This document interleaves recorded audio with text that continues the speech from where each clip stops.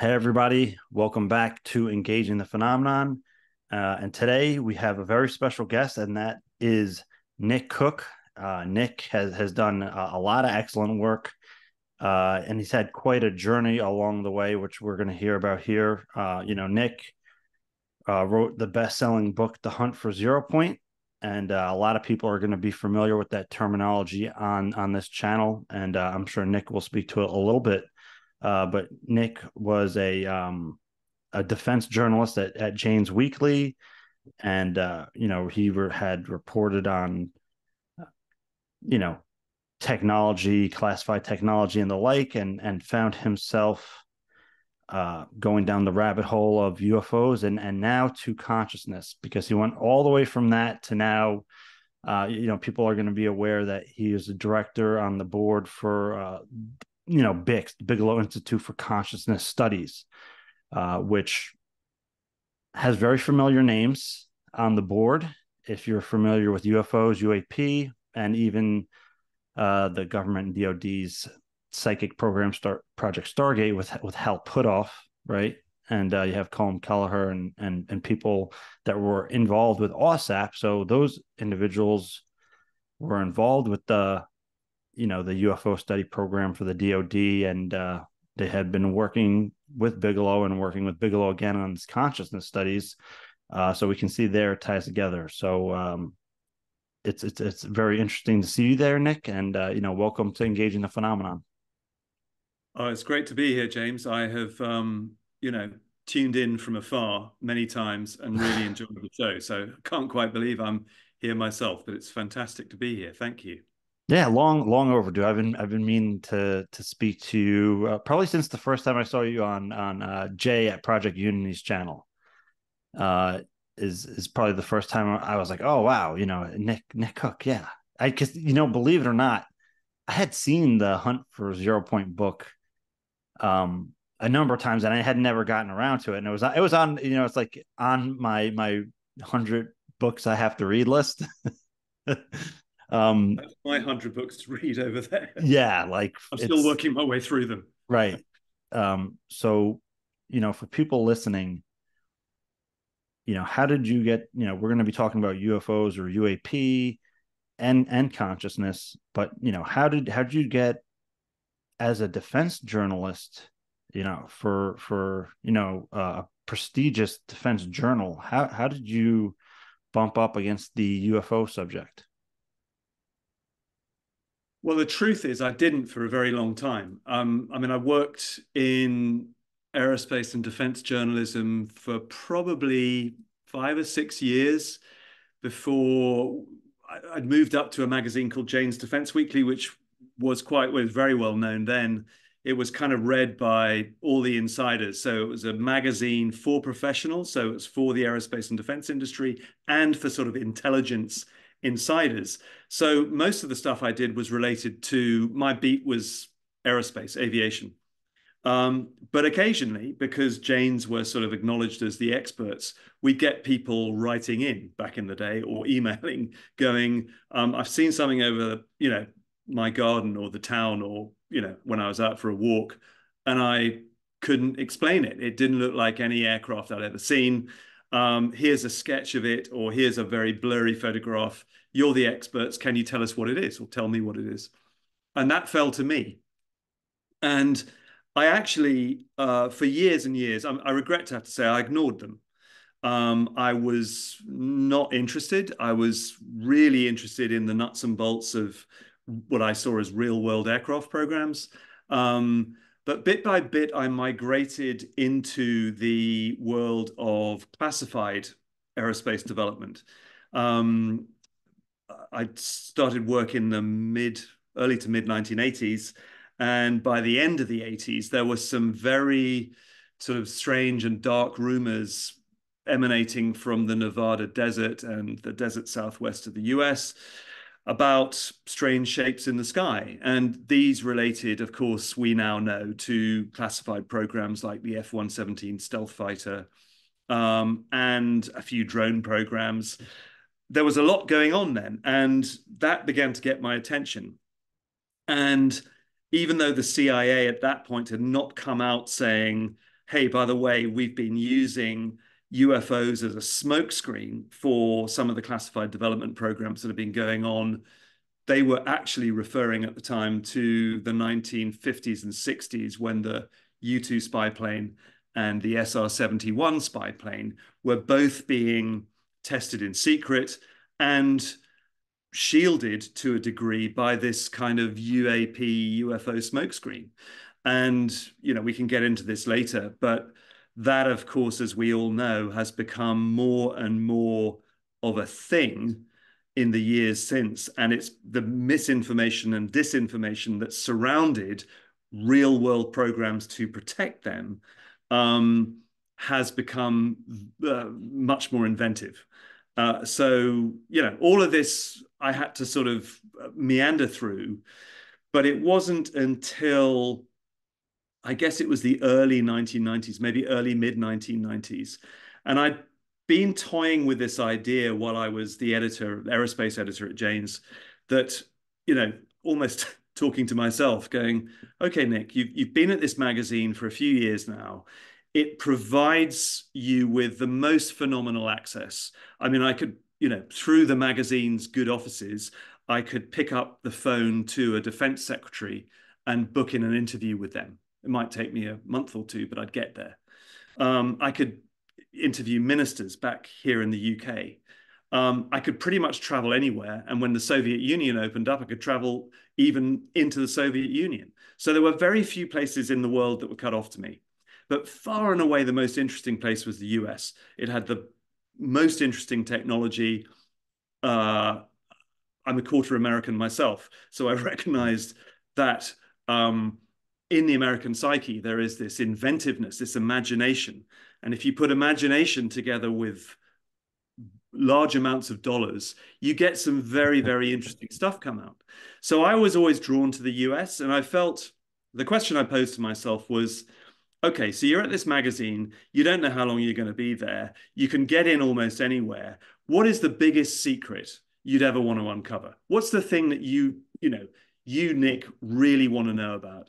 And the thing that I really wanted to know about was, you know, had there been a propulsion energy breakthrough that would give you something not unlike a UFO? And I tell the story in The Hunt for Zero Point, which is the thing that came out of that question. It was a, a book I'd not set out to write. I just was literally every time I went somewhere interesting in the US, I would keep my eyes open. I'd ask often impertinent questions, but always very carefully, because 25 years ago, this was massively taboo. It's still pretty taboo now. But back then, it was so taboo, you couldn't talk about this stuff in polite company. So I was careful how I phrased it. But bit by bit, James, I, you know, I'd sort of amassed enough data to go, hey, I've got a book. And the book was The Hunt for Zero Point, which came out, hard to believe now, in 2001. And you know, how how did how did your hunt end? Did you, did you find the zero point? And and just just for people listening, because uh, you know what, there are a lot of new people to the UAP and UFO conversation, and they might not be mm, too aware of the direct correlation in the conversation between UFO, UAP, and zero point. Um, so just just very briefly, what is zero point, and and what did you find? Okay, so about halfway through my journey in the Hunt for Zero Point, which of course, when I set out in it, the book was untitled.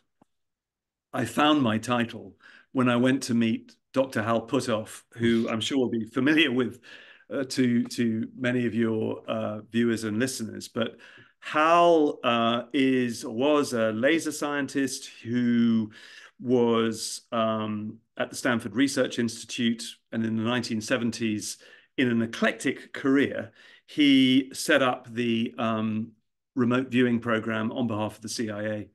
Uh, that's not why I went to see Hal. I went to see Hal because one of his many other interests is in exotic propulsion and energy. And I went to him at his laboratory in Austin, Texas, I think it must have been around the mid, no, it was about late 90s, mid, mid to late 90s.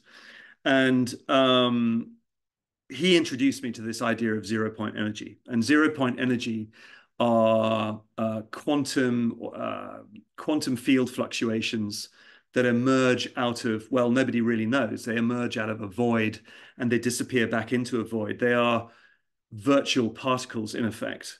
Um, because they're virtual it is very hard if not impossible to draw energy from them but that was hal's quest it's many people's quest is to extract energy from this um, zero point field and that gave me my title. I thought, yeah, you know, um, this is kind of what it is. It's sort of struck me as a bit of a nexus point. It certainly has done that in all the years that I've been looking into this since, because the zero point field, these quantum vacuum fluctuations, are the very substrate that we can take our physical examination of the universe down to.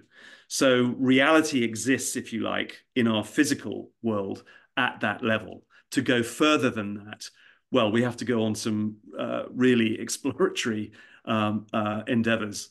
Um, and I guess that's probably where I am now, but we can come to that in due course.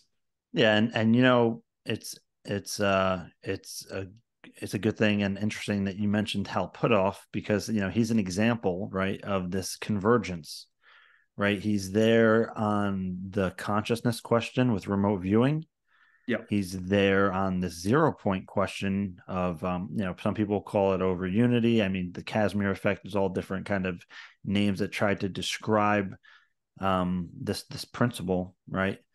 And um, and he's there on the UFO program. He's working on, you know, he worked on OSAP, uh, AATIP, and um, you know, again, we have this convergence of all these, you know, loose threads, as as my friends would call them, uh, and yet there's an intersect. So, um, you know, I I do I do want to get into that intersection, especially with um, light beyond the mountains. But um, before we go there, what what was your ultimate conclusion for the the hunt to zero point? is like did, do do you think that that we have it do you and um let me start with that so based on the, all the research you did and and your hunt for uh, zero point do you believe that um conventional or let's just say exotic human technologies have have um obtained that kind of um capability okay so before I directly answer that, there because there is a plot spoiler element in that.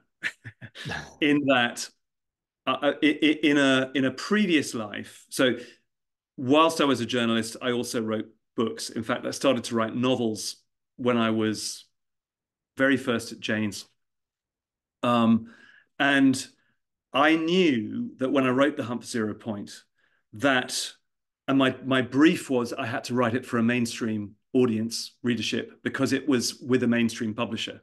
So that my brief was make this accessible. So what I did was I drew on my thriller writing sort of background bona fides, such as they are, to give it what I like to think is sort of some page turnability. Everything that happened happened, but it it, it it's ordered in a way that I hope would make you want to keep turning the page. So I am, to answer your question, I'm going to need to plot spoil because you get to the end and it's like, is he or isn't he going to find the secret of, you know, anti-gravity, you know, which is effectively what it boiled down to. And, you know, turn away now if you don't want to hear the ending. But I don't. And I, I I'm absolutely shameless about that because much as I would like to have found the answer myself, what I found was that it was it was all about the journey.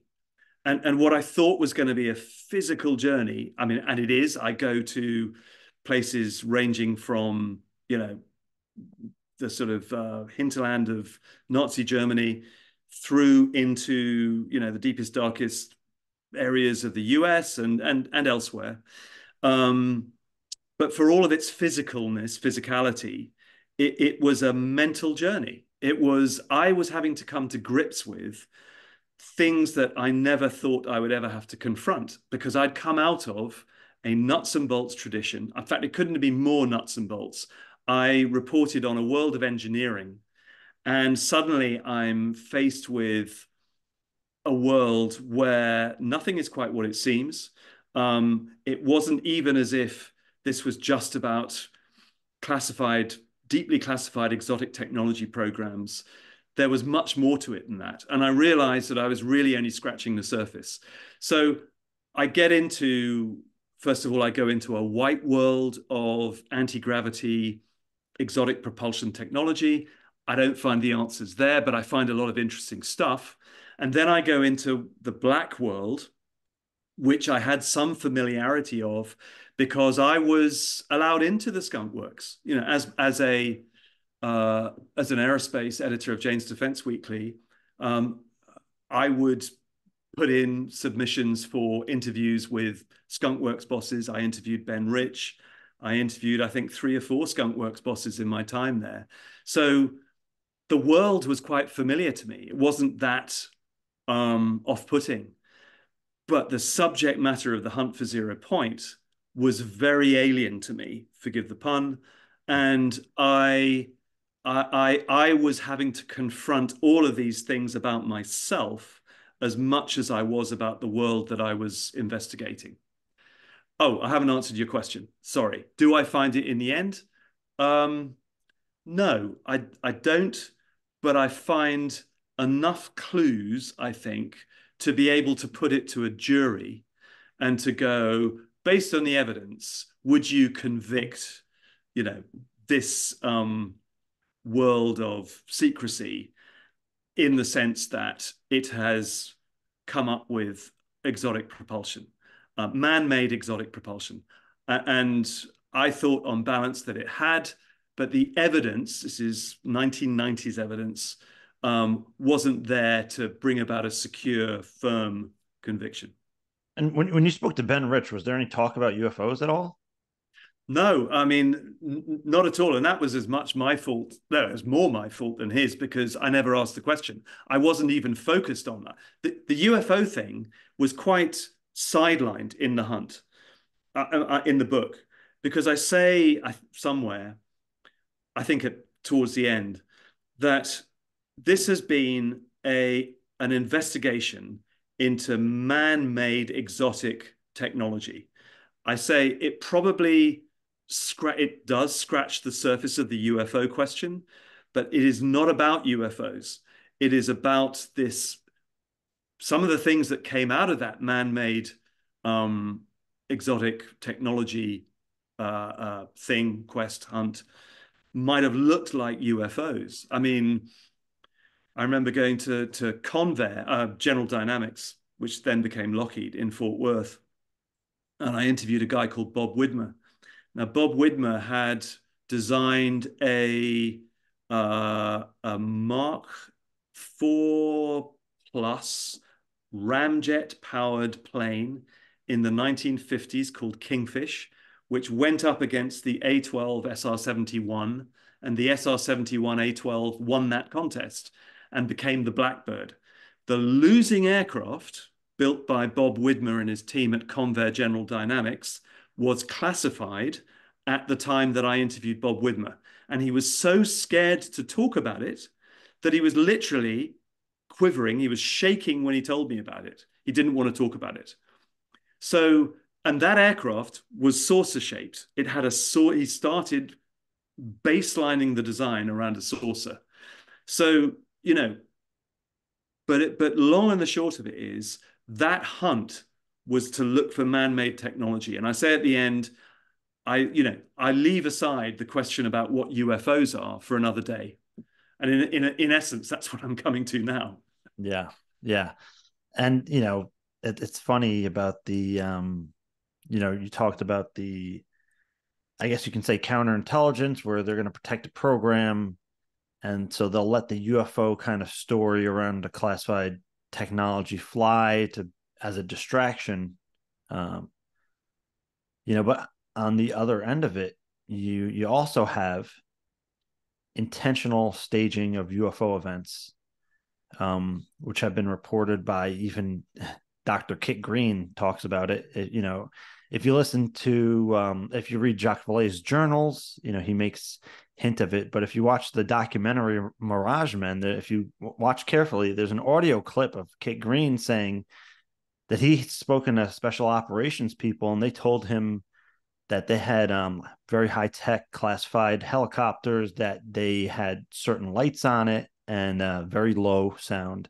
and they were using these you know specifically to stage uh, ufo sightings so and uh, you know of course jacques vallée's uh, forbidden science volume four he talks about um, a cia document that he'd recovered that uh, discusses staged abductions, and that that's a whole nother thing I don't even want to get into, but I'm bringing it here for the the note of reference in regards to Kit's comment, Kit Green's comment, and that um, the counterintelligence, you know, regarding uh, classified technology, let's say black world technology, um, to, tie to a program, but then at the same time, it's it's also used the other way around. Um, which again, it's just an in- interesting note I, I want to bring up. Um, well, just if I can grab thirty seconds on that, um, it is interesting.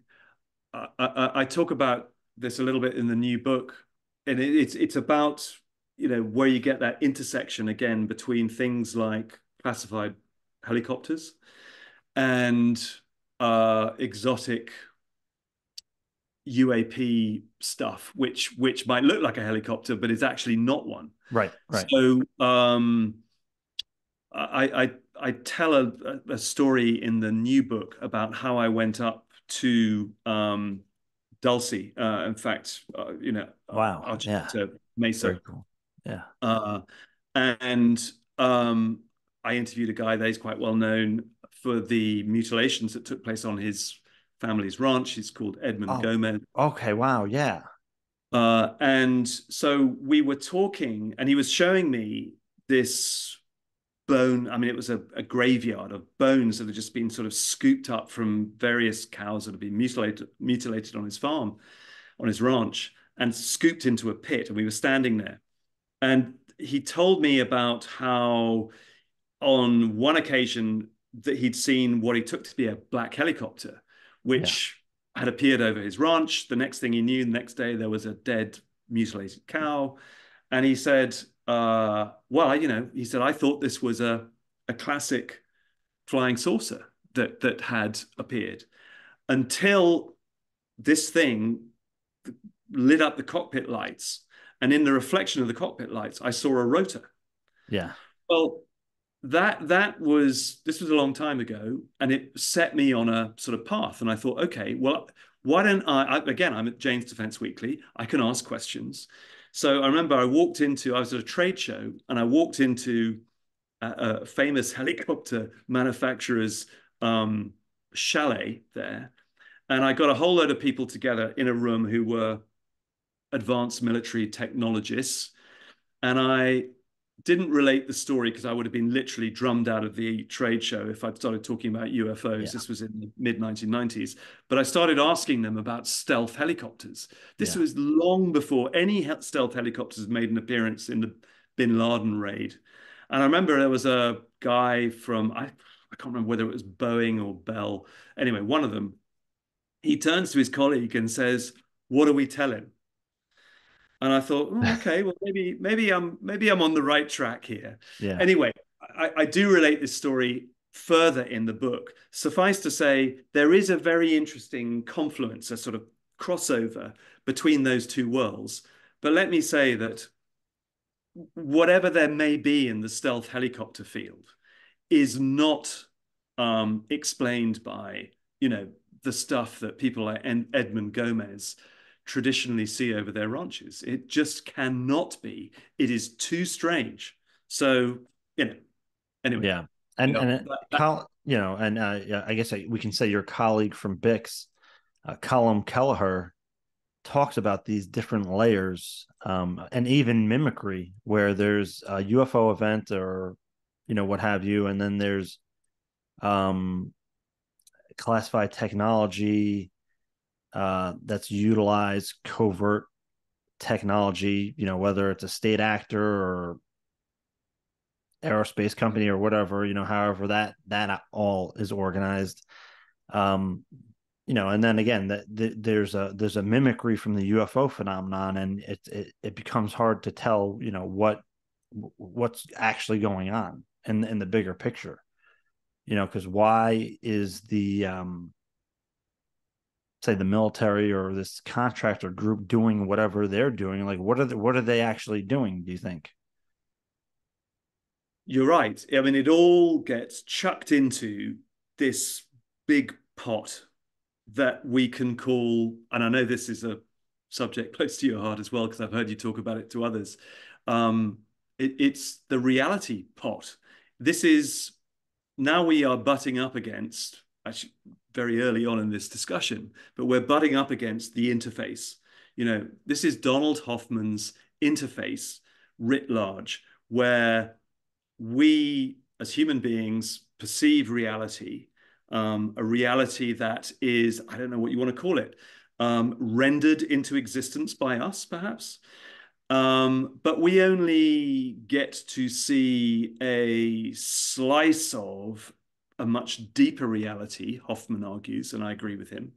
Um, and behind that interface, which we could broadly equate perhaps to the graphical user interface on our on our laptops, on our computers, behind that interface, there is a whole world of uh, bits and bytes and you know uh, electromagnetic um, fields and currents and stuff that I don't need to understand on my computer. And evolution has just given us so much, you know, enough that we can handle and no more. I mean, this is the argument. And, and I think that um, it's a very good one, actually, because if you begin to think of reality in that way, anything which gets thrown at the screen, and, you know, we were talking a moment ago about man-made technology, um, disinformation gets thrown at the screen, uh, mimicry by God knows who or what. Um, all of this gets swirled up into that interface. And lo and behold, every now and again, reality gets bent out of shape. And you get what Jacques Vallée would call, and Eric Davis, all kinds of high strangeness effects. So it makes investigation um, very confusing and difficult. It's not easy, uh, which is why if you are interested in this stuff, I think you have to say to yourself, I certainly try to, to me, be patient. You know, it is it is about the journey again. I'm I'm back where I was with the hunt for zero point. It, it's experience the journey and perhaps experience and enjoy if you can. And I, you know, I use this reservedly because for many people it is not enjoyable. It's confusing, but um, uh, appreciate, if you like, you know, the waypoints of the journey because it's, you know, in some senses, I think it's our future. Yeah, and um, you know, you you know, getting to, you know, you mentioned the word interface a few times. So I'm, I'm going to bring up something relative. All right. Um, kind of that's going to lead into different parts of the conversation. So as, as somebody who is a defense journalist, you know, what, what do you think when you see slide nine? Oh, fascinated.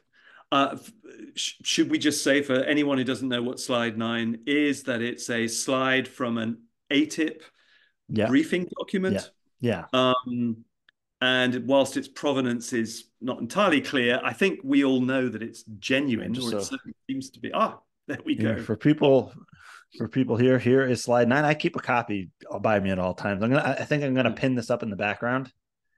And there's a lot of uh, interesting things on the slide. Um, yeah. you know, but it is and I'll, so you asked me the question about what do I think as a former defense journalist. the, the the the way that slide, that briefing document is constructed, is so familiar to me. I mean, you know, I sat through umpteen DoD briefings with that similar kind of slide format to it. So for me, whilst you can never be sure, there was little doubt of its genuineness. Um, and, but the things that it mentions on it are, of course, you know, I talked earlier about this is why I loved going to the States, you know, and covering high tech was because where you get money and imagination, you get some seriously exotic ideas come out. And you know, that to me was just a um, a clear example of that. You know, this is these are people who are really thinking out of the box, who've had time and some money um, to enable them to think out of the box. And slide nine for me is is is evidence of that, and and very interesting. Yeah, because you know, there's there's some interesting notes here that I just want to bring up on slide nine. Uh, you know, and again, for its um, for people that might question its authenticity, um, you know, one one of my colleagues I accidentally leaked it, if you want to say it that. Uh, my good friend, known as a Twitter user Jay or the Mind Sublime, and with that, um, it wasn't just the slide that we got. We got the um, the original uh, Nimitz report. Um, it was unredacted, which we pulled because we there was information on there that shouldn't be public. Um, and uh, Lou Elizondo's resignation letter. You know, so that it had provenance to it. Uh, but you know, again, one of the things on the slide here it says what was considered phenomena is now quantum physics um, which I thought is very interesting. And again, that again, it says DoD advantages. It says DoD has been involved in similar experiments in the past, you know, and it's the stuff that's talking about here is um, psychotronic weapons, cognitive human interface, penetration of solid surfaces, instantaneous sensor disassembly, alteration manipulation of biological organisms, anomalies in, in space time construct, which kind of reminds me of uh, Hal Puthoff's time space metric. Um, unique cognitive human interface experiences, which is kind of reminding me of um, interactions with non human intelligence, maybe. Um, and of you know, of course, it has this major kind of headline, which I I guess is you know reason for the Department of Defense to consider UAP a, a genuine national security threat, right? It's kind of why we're having this conversation now, is because this was finally pushing the public as as um, national security, and therefore it's a liability issue. You can't ignore it, and it's been proven. I think. Um, not saying that UFOs are an imminent threat, but you know, again, these things are things of concern and, and what have you. And uh, you know, uh, this inter- interesting statement says the science exists for an enemy of the United States to manipulate both physical and cognitive environments in order to penetrate U.S. facilities, influence decision makers, and and comprise compromise national security. Um, so again, that, that's just interesting, and um, the cognitive human interface part is uh, always stands out to me. I, I had Lou Elizondo on, and I asked him about that and in, in reference to that, he said that that's kind of like your CE5. You know, so that's um for for everybody watching this is probably going to be aware of it. It's you know, uh, a consciousness interaction with with um non-human intelligence. So, you know, as, as you're so yeah, uh, this defense journalist, you're coming. You know, you get the hunt for zero point. You're kind of broaching that and then you get tangled into the UFO subject and then the the consciousness subject um and you know you you, you talked about your journey right uh of of the whole thing so as as somebody who who went through that journey you know in, in retrospect do these pieces make sense to you oh in retrospect they do right. the time many of them made no sense whatsoever. There were, you know, junctions, junctures in my life that made no sense. I look back and they go, oh, okay, that's what it was about. You know, yeah, oh, totally. It, it, it's fascinating. Okay, so what what do you what do you think is responsible for um, the instigation of those events, uh, the way in which they happen, and then the the realization you had of them? Okay, uh, again, I'm sorry to sort of. I'm going to preface various question answers to questions of yours, James, by saying I don't know, and I'm going to say a lot. I'm also going to say uh, I have no fixed position on the phenomenon. And in right. fact, I've always said to myself, the day that I do, uh, I might as well go and do something else because actually, I think it is a an evolving phenomenon. So I'd be very unwise to to have a fixed position on it.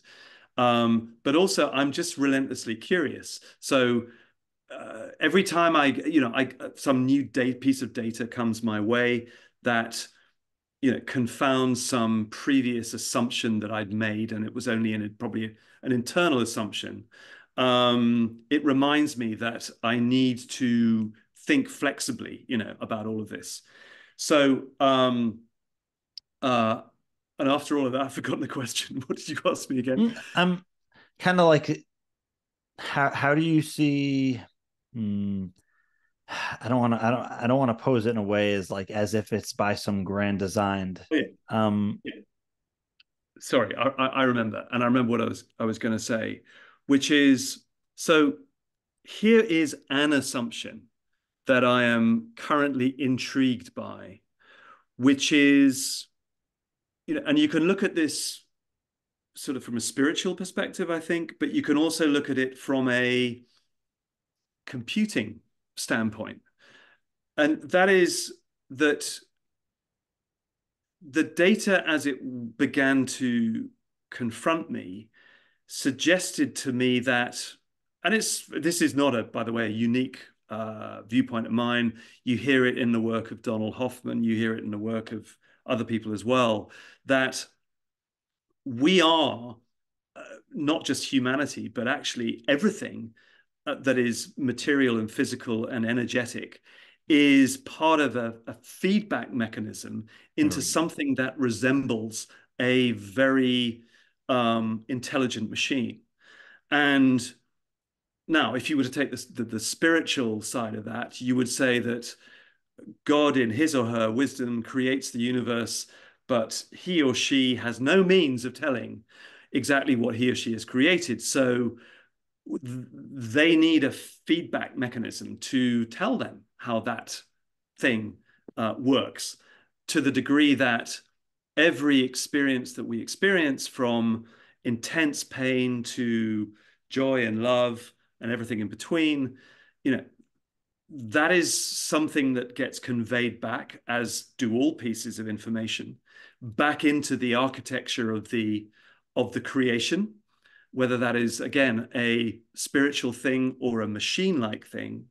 And it expands the, uh, the, the, the software base and the intelligence of the machine to become more intelligent. So it is a self learning, evolving machine, which looks like it is just crunching problems, big, huge data sets. And uh, I have no proof of that, no evidence of that. Who does? But you know that currently, as I said, is a, an assumption for me that is intriguing and seems to tick a lot of boxes. But you know, um, like I say, uh, something might come along tomorrow which confounds that completely. But that's sort of where I am at the moment. Yeah, and that's this um, this kind of interactive quality um, uh, to reality, which um, Dr. John Wheeler of Pearl Labs would have said is the participatory universe, the particip, you know, that we're participating in in, in reality, that um, you know, we're not merely um passive observers, but our, our act of observing actually affects the thing itself, right? And it's like a self-informed, self-actualizing uh, universe, right? Almost like a organic AI right yeah. mechanism. It's it's incredible to even contemplate, right? Like we're just kind of seeing it on like we're building it on such small scales, and you know, it's like a self-informed um, reality in that way. But um, you know, getting to that kind of the interaction, the because there's this, like you said, this feedback, right? And with with that, I'm trying to put this into good words. You know, kind of in in in the context of um your your new book, which which is going to be on Substack, correct? Yeah, it's actually it's on Substack now. I I I just put it on there. Um, it's called The Light Beyond the Mountains, and yeah, that's my new book. Yeah. Okay, so yeah, we're we're getting more into that conversation now. So, you know, just so people are aware, you know, what what what is this book, and uh, what where does the name come from? So uh, the first thing I should say is that I'm serializing it on Sub Substack. So I'm going to be writing it chapter by chapter and then posting it and publishing it. So it's a bit Dickensian, if you'll allow me, in its format. In that that's how Charles Dickens got going himself. He he serialized yeah works like Great Expectations and Oliver Twist. Um, but that aside, I decided Substack would be an interesting platform to do this on. Uh, I, in the introduction that I've just posted on Substack, which gives the background to the book, um, I'm quite clear that originally I had tried to get this published as a as a as a normal book. I mean, through a normal yeah. publisher. You know, I'm fortunate to be published by some uh, some some some good international publishers, but the, the the thing that frustrated me and which led me to Substack in the end was that you know every time I pitch for a book, I have to come up with a proposal. The proposal is I don't know, sort of anything from ten to fifteen thousand words long, and I originally said to the my agent, I want to write a book on consciousness, and he went, "Great, you know, fine, you know, give me a proposal." So I wrote this proposal, and then he came back and went, "Well, the problem is, is you know, publishers like to feel that they've got an expert talking about this stuff. You're not an expert in consciousness. And I said, well, you know, uh, uh, hello, uh, no one is, or everyone is, because actually it's not understood where it comes from. So everyone is entitled to have an opinion on it. I said, but I take your point. You know, I, I, I am, I don't have a PhD in psychology or, you know, whatever. So I'm going to reframe this now uh, what if I came back to it through something that I am qualified to talk about, which is UFOs or UAP, because of my defense journalistic background, you know, my aerospace editor's background. So he went, great. So he, I said, so I'm going to give this a UAP front end. That's going to be my portal of entry into this consciousness story. But the story I really want to tell is the consciousness one. So he went, great, we're on. So I wrote another proposal and I sent that in. And uh, this time, this was submitted to the publisher, and the publisher came back and went, uh, This is great. Uh, we're going to make an offer. Um, and before it actually translated into hard cash, someone had a bit of a rethink because they were going, well, actually, we're not quite sure what this book is about. Is it about UFOs, or is it about consciousness, or is it about something in between? And I I sort of went with this for a while. And then I said, well, actually, for my money, it is impossible to put into a proposal of 10,000 words, 12,000 words, what I'm trying to say here. It's just, I can, I can do it in the book form because the book gives me the expansion, the space to be able to write about that. But I can't do this in 10,000 words. So you know what? Let's take it off the market and I'm going to put it on Substack where I'm going to serialize it week by week or, or fortnight by fortnight, actually. Um, and that's what I'm doing. So uh, the why is it called the light beyond the mountains?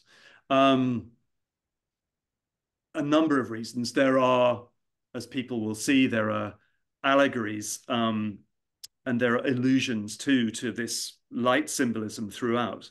Um, the sort of slightly wishy-washy response is that I am a very hopeful person by nature. The light on the horizon is meant to be something um, hopeful that we are all, you know, in what, let's face it, are some pretty dark times. Um, we ultimately are moving towards, or at least I feel we are. But you know, there are other um, illusions and and allegories too to the light. I mean, and the I guess the one which runs through the book like a stick of rock, uh, words in a stick of rock, are um, my very first. I've only ever had. Well, I've only ever seen a UFO once, and um, back in the day, a long time ago, I did. Sad to say, quite a lot of hanging around outside Area 51. Yeah. Uh, and I was there in, as I describe in the prologue of the book, which I'm about to to post. Um, I describe how on a hot September's night, colleague and I we'd staked out the base. You know, we were looking for exotic aircraft. I wasn't looking for flying saucers. Um, and suddenly, up behind the mountain range, uh, I guess 15, 20 miles away, right where the base is or was, was or is, came this ball of orange light. Um, and in my reference library of known things that I can tick this off against, there is nothing. I, I can't equate it to anything that I know exists in the world, of, even of you know classified aircraft technology. Um, and this becomes the sort of, I suppose, the the motif for the pursuit of truth in the book. I want to know what I saw. And that leads me, believe it or not, into the whole consciousness question, because, you know, as you've said, James, and I've, you know, seen you say, in fact, we've touched on in the whole CE5 issue, there is a connection between UAP and consciousness. It may not be very clear, um, but anyone who has ever practiced or indulged in CE5. Um, I've not, uh, but they will, you know, frequently report that these things show up. So, what is that about? Um, well, I, you know, I, I, I dive into some of that in the book, but it, it's a very, it is designed to be um, a not a skeptic's journey, but someone who is very um, rigorous, data driven, needs to be uh, confronted with a lot of evidence before he is tilted one way or another. Um, that is the start of the journey. Um, and by various extraordinary twists and turns, which may or may not have been organized by a higher, higher power, but certainly when I look back on them, they seem to have uh, some intelligence behind them and not my own, not exclusively my own. Um, I am, you know, drawn into this, I, for my money, compelling story about what consciousness is and who we are and uh, all of that. So that that is the journey, and it is the light which pulls me through that journey. Yeah, and you know, in regards to CE5 or you know consciousness and UFOs, consciousness and UAP, uh, you know here we have the again slide nine that's kind of addressing that issue, um, talking about cognitive human interface and the, and the interaction, um, where it shows you know or it talks about UFOs having the ability to interact with uh, thought and consciousness.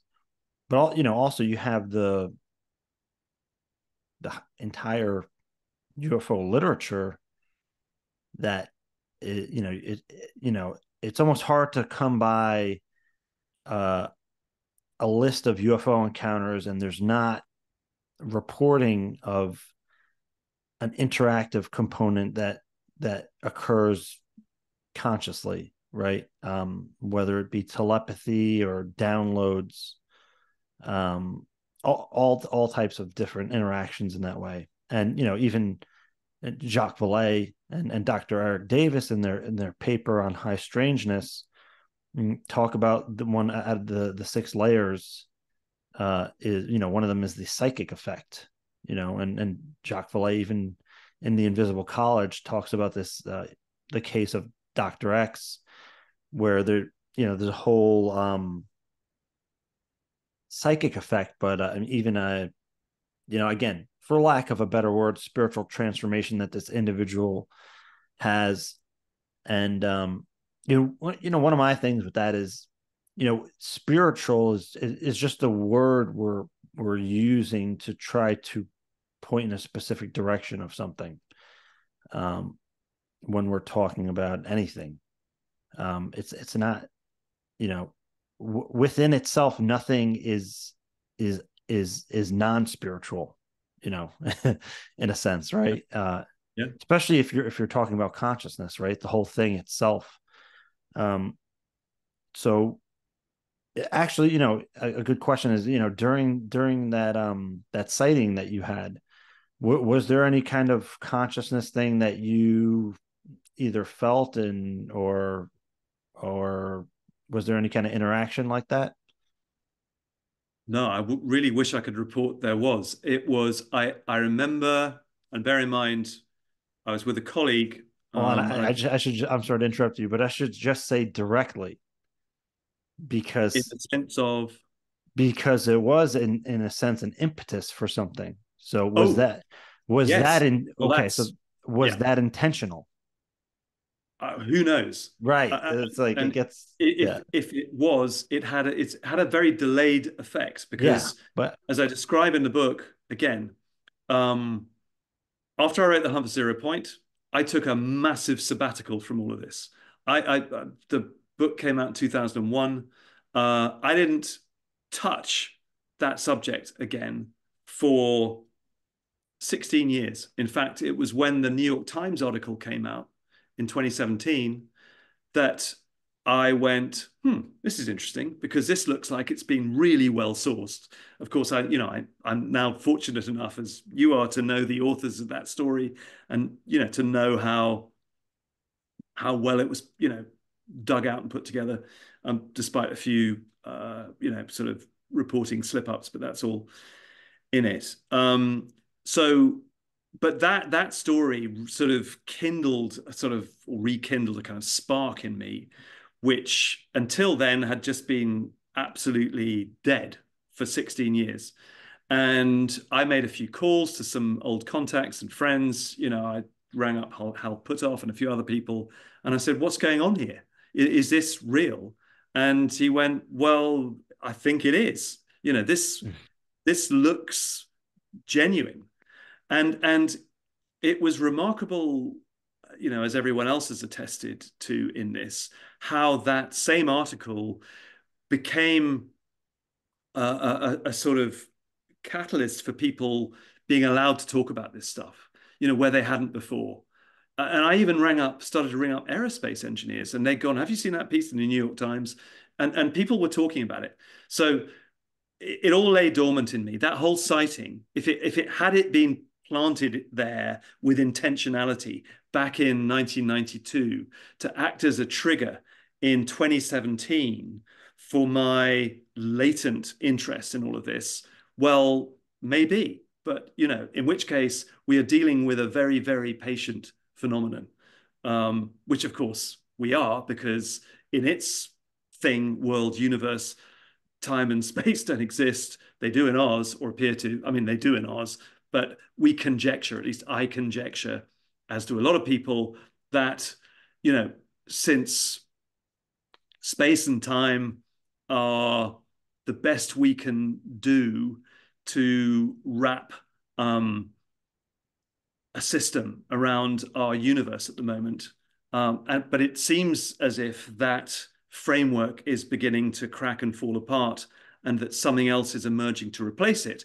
Not that um, you know, general relativity and quantum mechanics are going to be redundant. I don't think they will be for a second, but they will be subsets of this greater um, scientific understanding of our world and our universe. Um, I think that's what's coming.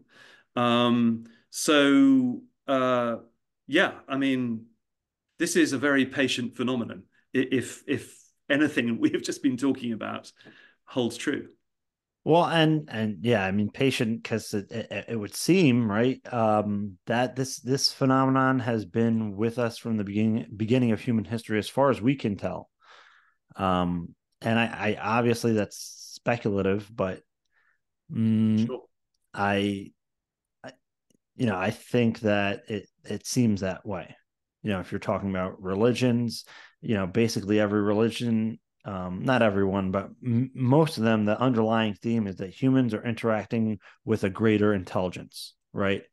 Um, and we give these greater intelligences names, and you know, and we have a culture and and what have you, um, and that's a whole other discussion.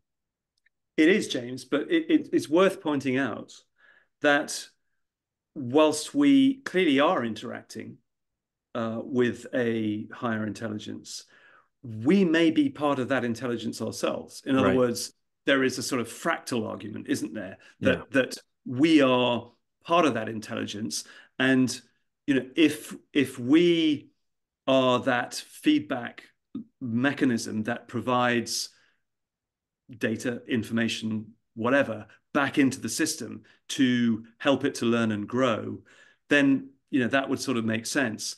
I mean, another way of looking at it and again, I just offer this as speculation, conjecture, and all the rest of it because who knows. Um, but you know, it, it, it has been said that what? Let me reframe this. What better way would there be to for the universe to experience itself uh, or creation to experience itself than to drop us into a quote school where we learn in a framework or almost like a prison that is constructed of space, time, and quantum mechanics. So, um, yeah, Earth School, I suspect, is is designed to be quite hard, and certainly in some of those spiritual um, teachings, you know, we hear that that this is not an easy place to come and learn, and but you learn quickly, and of course, we learn in a linear way because that is what space time space and time give us. Um, so uh, again i'm throwing this up as sort of just teasing thoughts and and and, and speculations. Um, and in the book i'm certainly in the in the light beyond the mountains whilst i might go into some of this stuff it is still i try to do what i did in the hunt for zero point and some of the other books that i've written which is to make this a story that you can relate to. Because there's there's it's no good my yeah i've read umpteen books on this subject that fascinates us. Um, I, I can't better that. I can't improve what any of these people have done.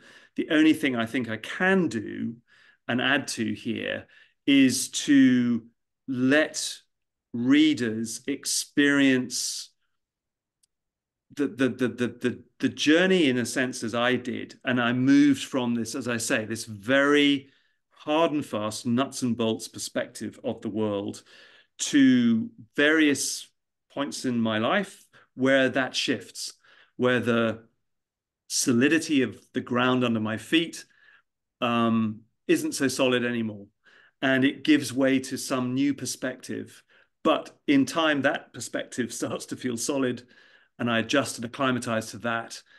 And then something else happens, which reshapes and reforms my worldview again and gets me to, you know, this whole new position where I, you know, I'm able to look back from where I came and, and try to make that journey make sense. Now, that's what I want to do in this book. I want to make it very accessible to people who, for whom this whole subject would be otherwise quite scary. And and in the book, um, to to what extent are you mm, investigating or approaching and discussing the UFO phenomenon, and to what extent is it consciousness based? The question of consciousness. I do go there. Um, i go there quite early on, actually, in in the book to talk about the UFO phenomenon. But I do I I, I look at some of its twisty sort of man I to say man-made aspects, but some of the some of some of the man-made areas of confusion. So you know the the disinformation realm uh, rears its head quite quickly, uh, and you know that obviously is there to to confuse us. And I try to use you know such skills as I've derived over the years to unpick and unpack some of that. Uh, and but later on, and and then we do get into the UFO phenomenon as it has revealed itself to us post 2017. Um, and I do unpick and unpack some of that, but I use it again as a waypoint to this bigger question of consciousness and reality. Um, but I, you know, there are some fantastic. I've met some wonderful people who have told me about some of the extraordinary things that have happened to them in their encounters. Um, and perhaps I, I, I, will leave some of those examples for another time, but um, they are there. They're there in the book. And again, you know, there's a sort of, I, I, well, Sarah, you know, we all know there are dark aspects to this. Lord knows there are. But uh, in in the book, I do always I try to pursue that light, the light of the title. Um, and there is actually, I will just briefly describe a, a chap I came to have quite a few discussions with who lives in the US and who had been going through a terrible time from a sort of mental health perspective, um, lost his way somewhat, uh, and then had well, actually asked for help. Um, I suppose a little bit like Chris Bledsoe did. Not that I I know Chris. Well, right, we've right. we've had yeah. Discussion. I don't really know Chris, but I, I think that's sort of at, at, at root of of you know his story. Um, anyway, this guy asks for help, and he is given a series of downloads, uh, almost like a sort of sh- in a shamanistic tradition, to how to of how to cure himself, and he goes through this these rituals which are dietary in nature, but really austere, you know, uh, uh, quite terrifying.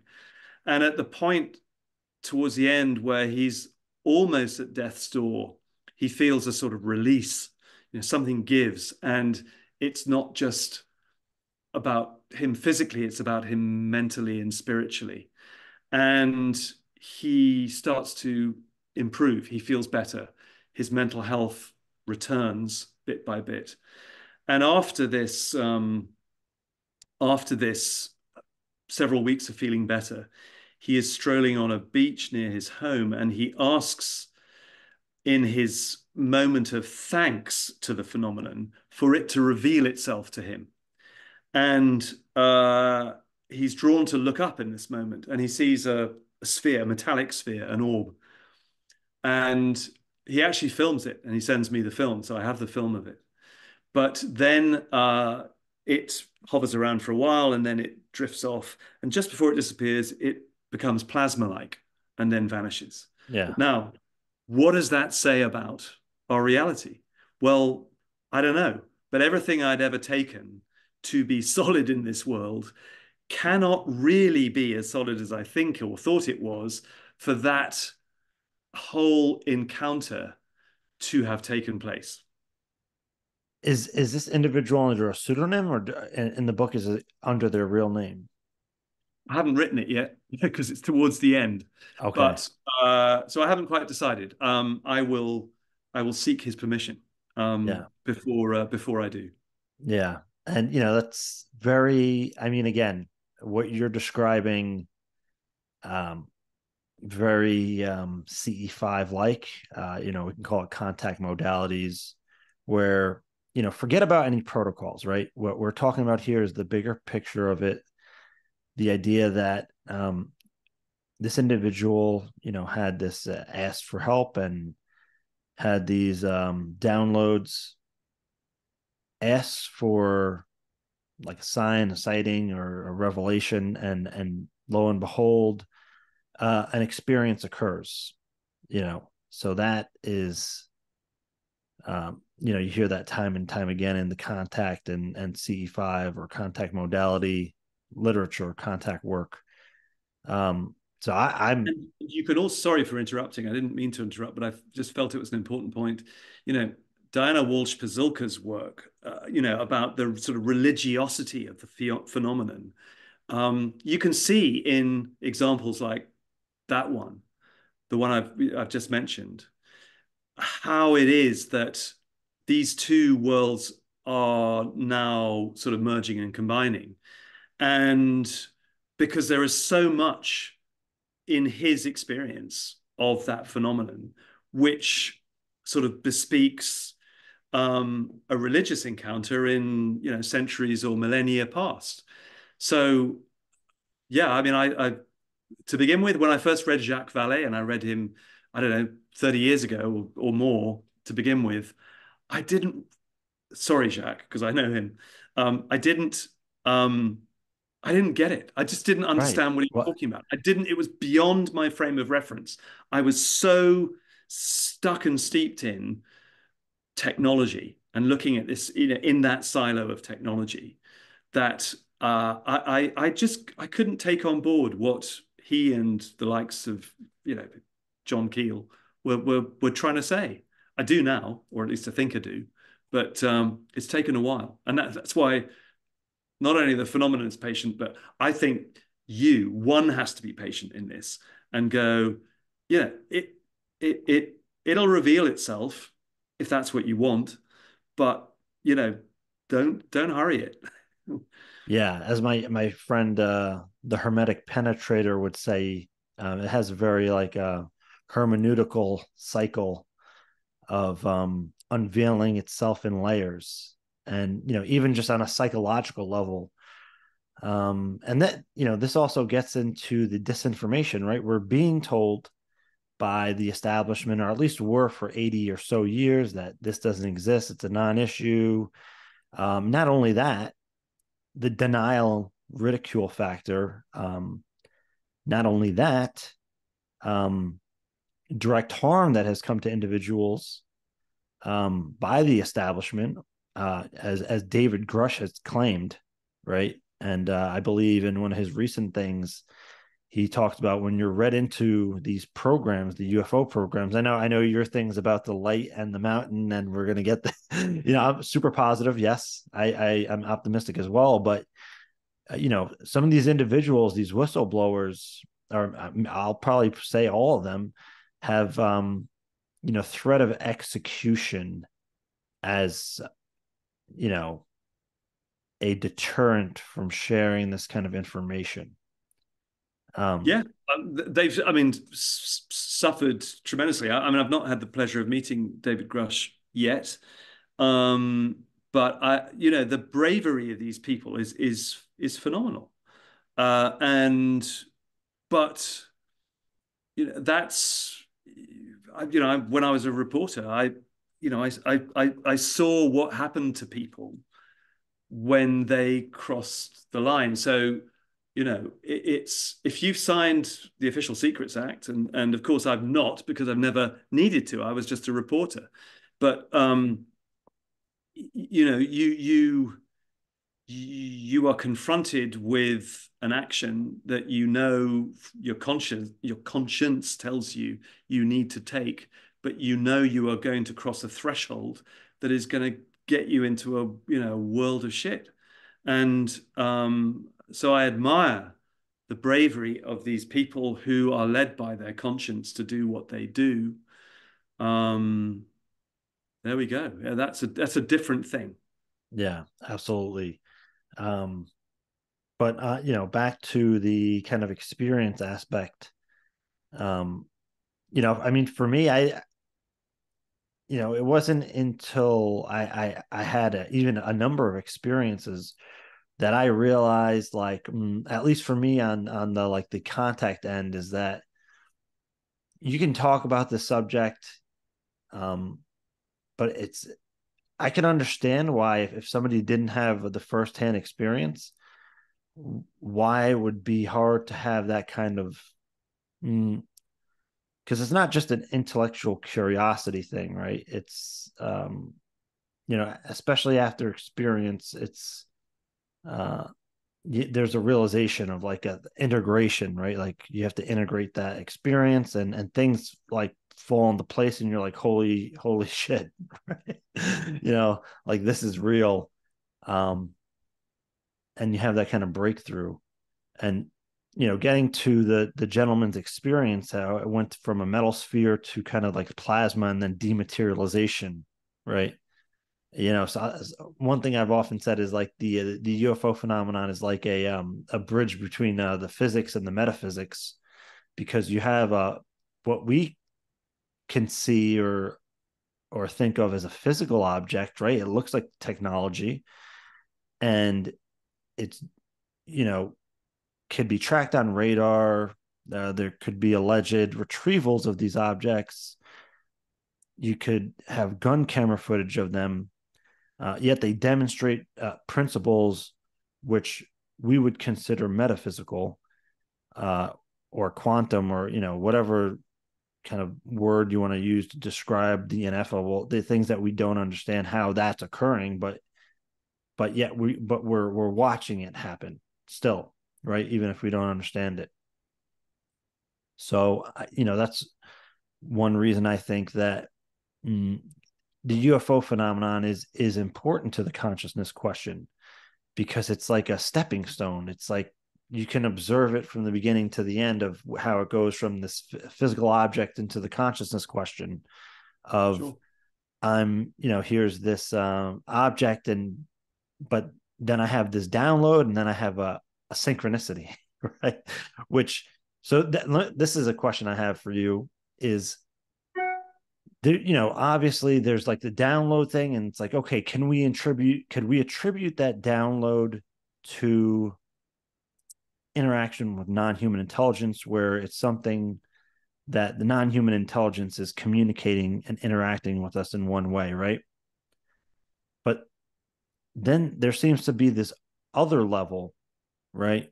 Where it's the feedback consciousness thing where if there's this crazy set of uh, synchronicities in in a certain way, like I don't, I don't, in my opinion, think that that like that entire thing was designed by non-human intelligence, right? I think that it there's another level at play, right?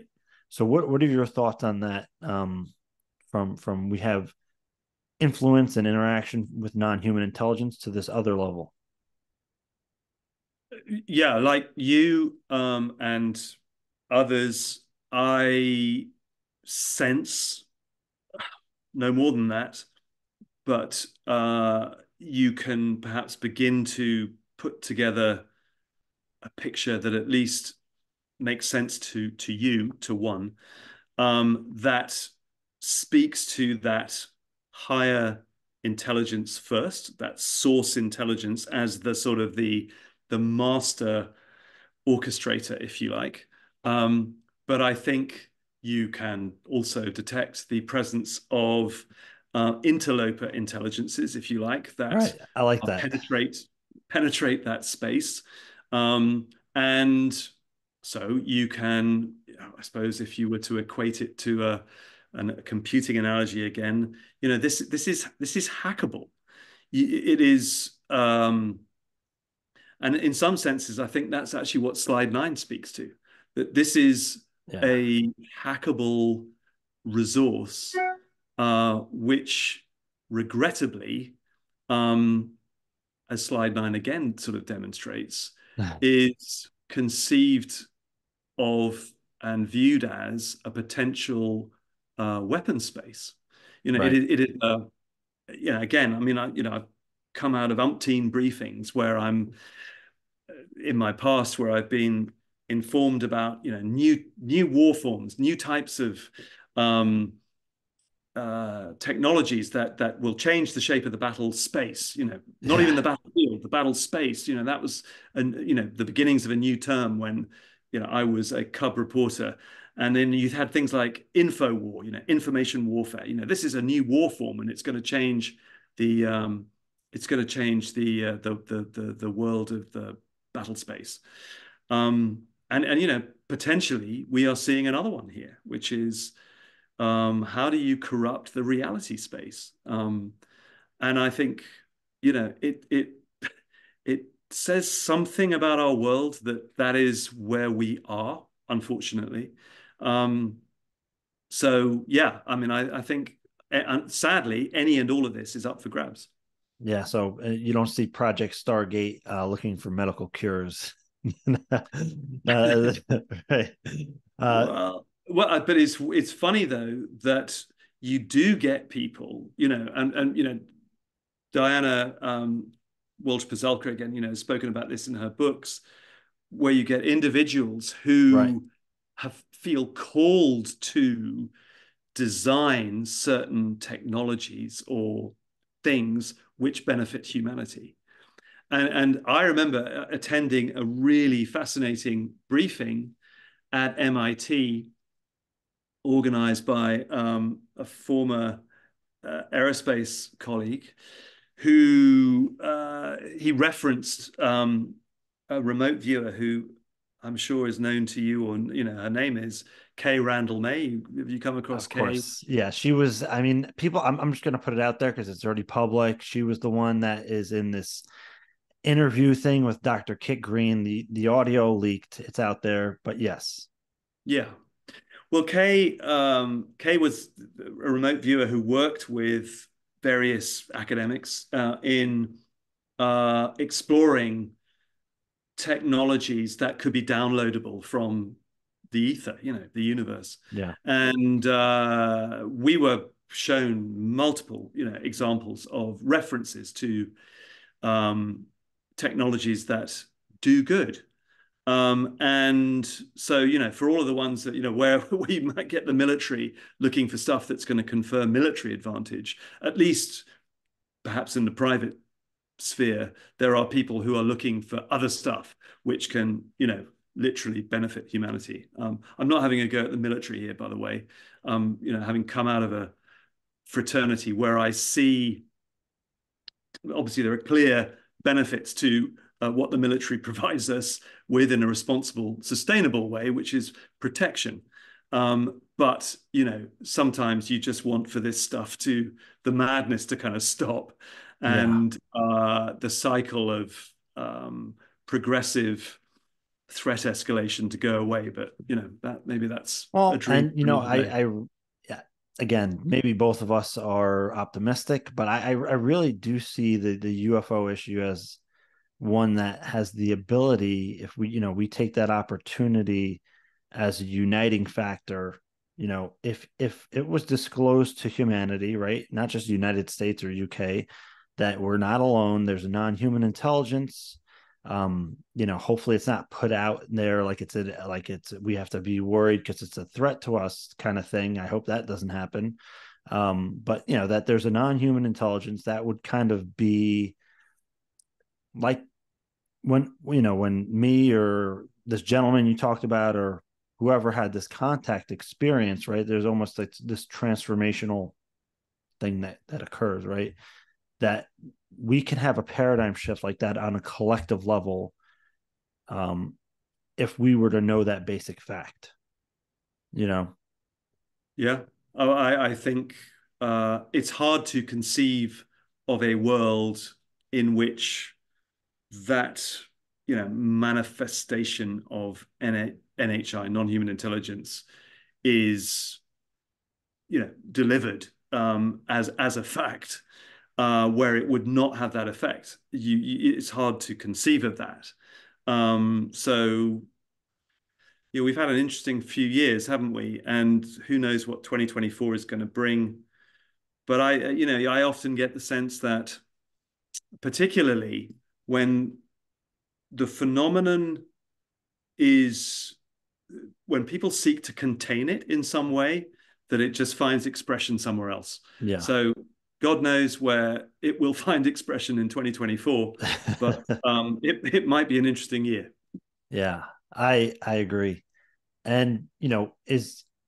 I, you know, I don't want to spoil your the book and and the Substack and everything, but for um the the light beyond the mountains, do you have um particular themes and or chapters that you would like um, not to flesh out, but just to kind of bullet list off like these are some things that are going to be discussed in the book and explored. Uh, yeah. Um, so uh, very sort of briefly, and this will only capture a part of it. Um, it does move through a very, I mean, a, a world I hope that initially will feel comfortable and familiar. And I'm only slightly sniggering at that because the comfort is based in the fact that I, am talking about quite real world technologies, but in a sense, and also to again let the reader know that you're not going to jump into the deep end here. You, I'm, I'm, I'm going to take you into the shallow end, and we're going to we're going to swim together towards the deep end because there's a lot of stuff to get through. So to begin with, you know, I, I, talk about my Area 51 sighting and you know what that might have been, and then I get into. Uh, I've been very fortunate to have known people. Again, I feel a bit like sort of Forrest Gump in all of this, in that I've sort of wandered through it. I, I didn't know, for example, when Ingo Swann contacted me after the Hunt for Zero Point came out, going, "Oh, I've just read your book. Do you ever come to New York? Um, it'd be great to meet." And yeah. the following year, I went to New York. I met Ingo, and then we sort of became friends. And I uh, only bit by bit did I become aware that of his huge significance in the world of remote viewing. Yeah. Um, but uh, and then when he died, I his family contacted me and said, "Would I write a biography about him?" And I said, "Well, I can't add to the sum of knowledge about Ingo. You know, everyone's written about him, and he himself has written about himself a, lot. Um, but we did find a couple of manuscripts, which we bound up into a volume called Resurrecting the Mysterious, which again, that helped me come to terms with another slice of reality, the real reality that I would not otherwise have come to terms with. And I did that through Ingo posthumously and his work. So we do a bit of that. Um, and then and I get into a bit of sort of the whole well, what is reality? And um, I I'm probably again I'm if I'm sounding uncomfortable here, it's because I am I I, I have my my map somewhere to the left of my desk. The whole map of the book is is is very carefully constructed, and a bit like painting by numbers, but a bit more than that. I will be filling it out every fortnight posting the chapters. So I don't want to get too far ahead of myself because, again, I'm using some of those thriller tropes um, to to to keep the narrative flow going. Um, and so, but I do end up, I do end up talking about how it affects each and every one of us. And again, in a hopeful way, saying, and you've made up the point already, James, that you know if if you if you tune in to a degree, if you look beyond, you know the the the, the very real everyday things that we're confronted with, which sort of dull our senses, and and you know why not? Because just living in Earth School is is hard. Um, but if you get sort of beyond that, I think there are aspects to appreciating that we form part of a much bigger thing, which is still, for all of our efforts, or collective efforts to understand it, is numinous, mysterious, um, and you know, I think on one level we are never going to understand it, but in it somewhere there is something hopeful and uh, given to us which can lighten our load if we allow it to. And, and so that ultimately is where it's headed. I mean, again, I've been fortunate in my career and I've done lots of different writing, one of them as a ghostwriter.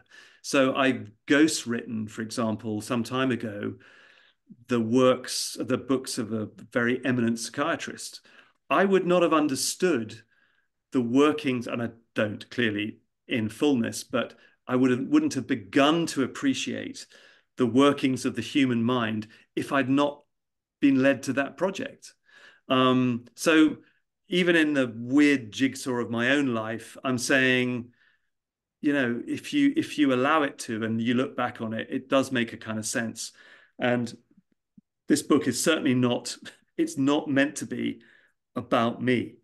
All I I am the journeyman narrator, if you like, who goes through this stuff, introducing interest to me, interesting concepts, chapter by chapter um, and in that sort of strange Forrest Gump like way that I've alluded to, I've sort of thought, how did I end up here? Why am I rubbing shoulders with Ingo Swann? How did I have this meeting with Uri Geller? How did I meet Ben Rich? How did I, you know, so I, am able to relate it, hopefully, in a way that it makes, I, I only hope that it is readable. If it's readable, then I've done my job but it's it's designed to pull you in, sustain you on the journey, and go, oh, okay, well, perhaps I've understood a little bit more about the consciousness journey as it related to that bloke who's telling the story than I did before. Yeah. And um where where can people find your work?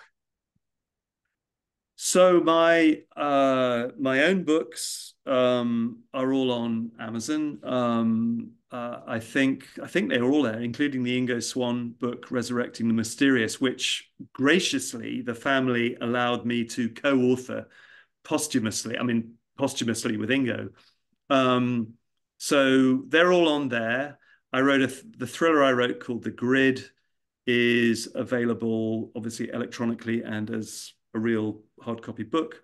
That, by the way, is about consciousness. It's um, it, though it's fiction, it draws from very much from what I was learning around a decade ago in this. And uh, like I said earlier, I didn't have the credentials to begin to start speaking about consciousness. Um, funnily enough, until I got uh, onto the BICS um, research board as a research director.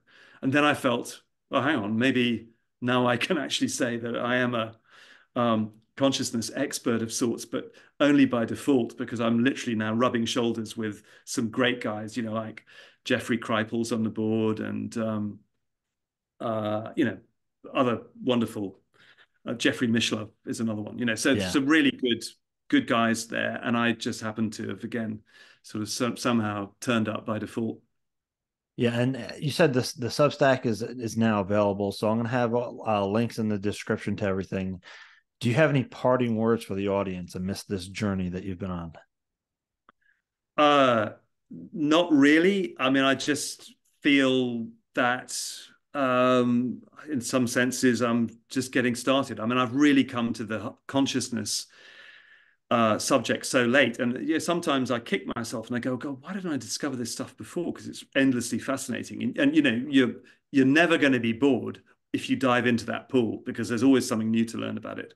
Um, but then I, you know, again, as we've been saying, you realize that you were introduced to it in the in the order or the uh, in the way that you were meant to be introduced to it. You know, I, part of me thought, why did I spend you know 20 years of my life um, as a defense reporter, you know, it would have been so much more interesting if I'd graduated onto this stuff sooner. Well, no, I, I, I feel even that was part of the foundation of, you know, what I'm now talking about. So it's all there for a reason. And I guess that's the thing that we should all bear in mind is that everything has a purpose, everything has a reason if you let it, if you allow it.